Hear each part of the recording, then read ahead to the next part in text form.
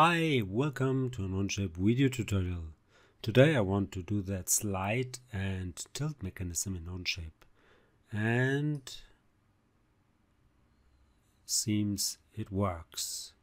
I had to do some preparations similar to Siemens and CATIA V5 and I had to use sort of a little trick to make it work. But let's have fun with Onshape.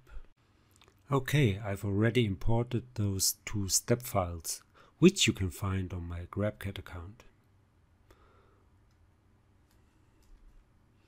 Now, in order to make it work, I have to add some features to this guide plate. So I want to do a sketch. Let's see where the plane is. I could use the plane, but I want to do it on the surface here.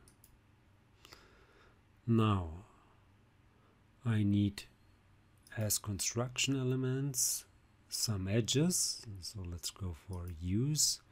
I want to use that edge here and the edges of possibly that surface here.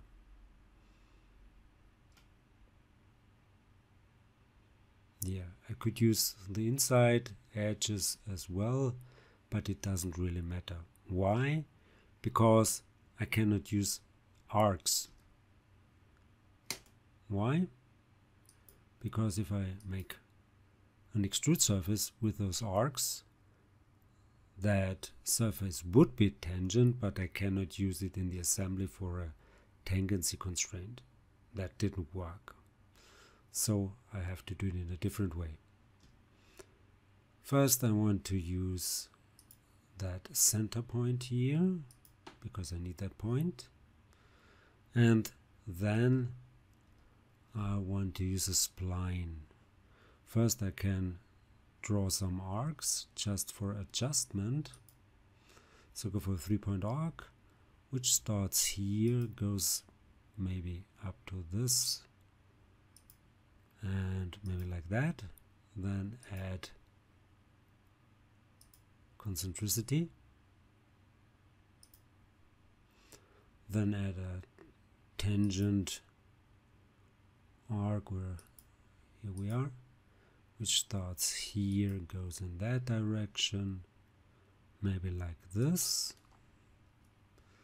Again add concentricity.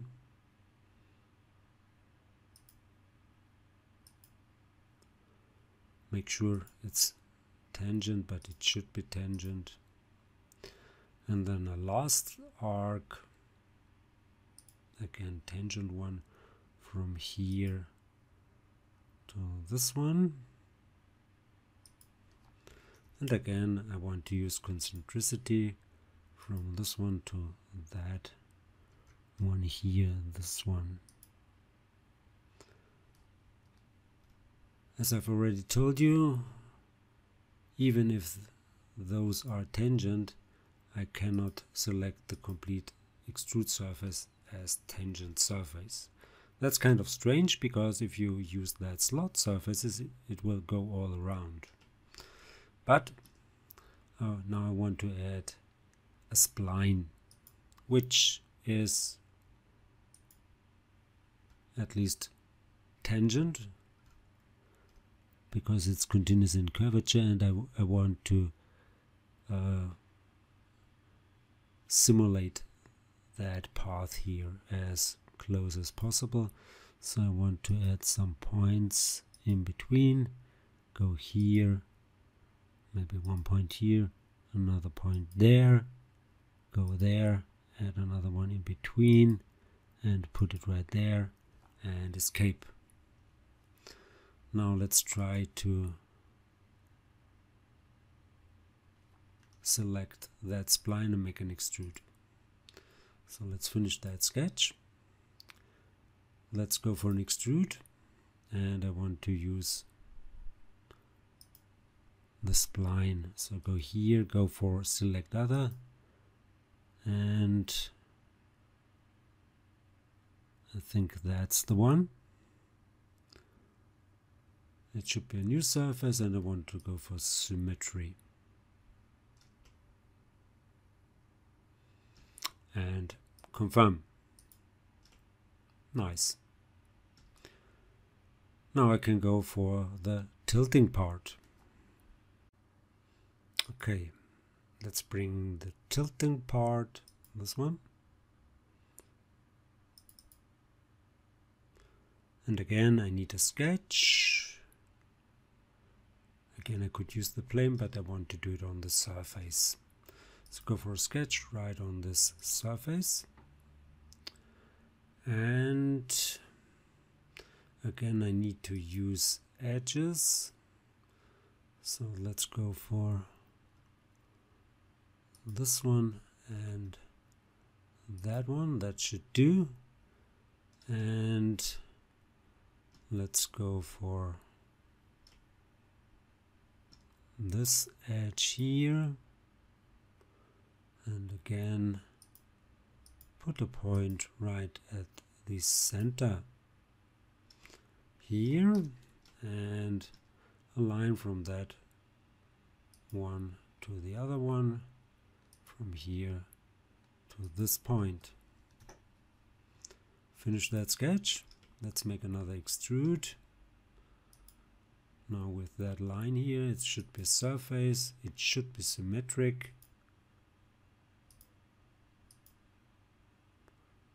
confirm.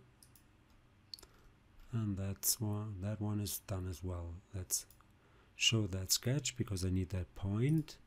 And maybe I forgot to do this here but I have to bring in that sketch anyway and then I can switch it on and off. So let's go for a new document and make this slide. And slide and tilt mechanism.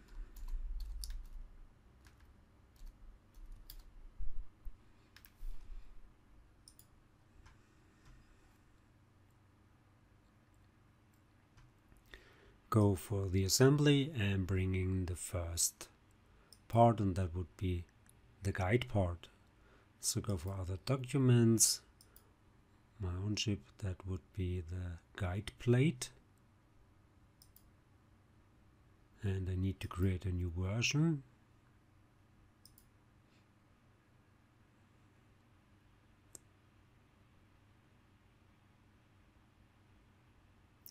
And I want to bring in the parts, the bodies, the sketches and the surfaces.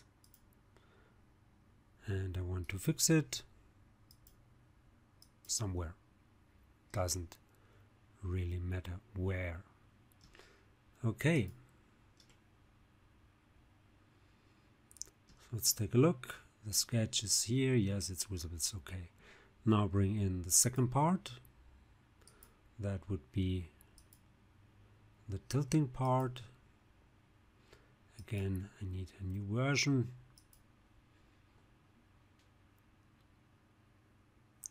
And again I want to bring in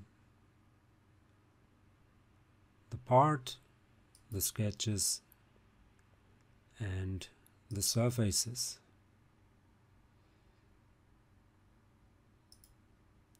And just put it right there.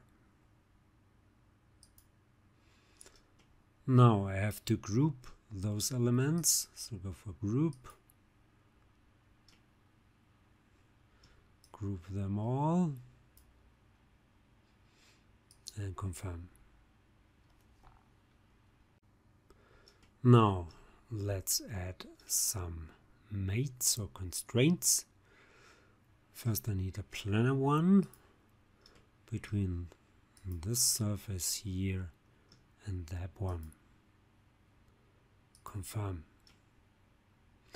Now I want to put that point onto this surface and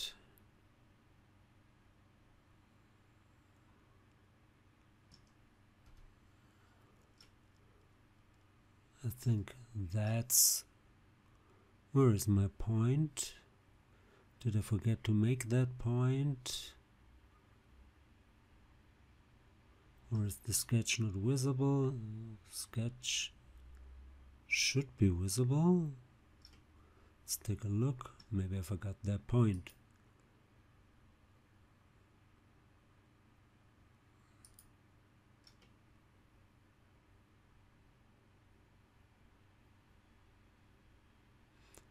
oh there you go. There is the point.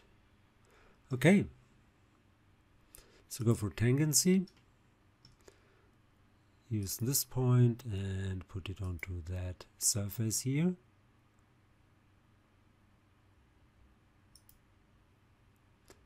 Confirm. And then put this point onto that surface. Again with a tangency mate this one onto that surface here.